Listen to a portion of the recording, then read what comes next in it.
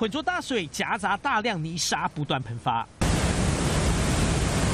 灰色水柱高度将近三层楼，这里是南化水库今年首次调节性放水，超壮观。唔捌看过头一盖啦，很疗愈啦，真好啦。受到封面影响，大量雨水灌进南化水库，八号上午蓄水率达到百分之九十八点五，预警性放水。气象预报也可能接下来还会有一波雨势。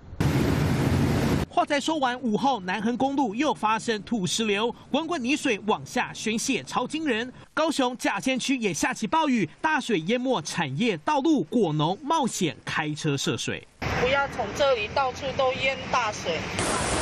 台南市安平区、永康区也刮起狂风暴雨，雨斜着下，路面开始积水，汽机车经过溅起水花，而这处饮料店。一阵怪风吹起塑胶布帘，整片往店里砸，桌椅被撞得东倒西歪，机车也刮伤。被吹爆了！快快下来！哇，第一次这样。中央气象局市警南台湾对高雄发出豪雨特报，台南、屏东、嘉义大雨特报，山区更是要严防坍方，民众别前往，以免发生意外。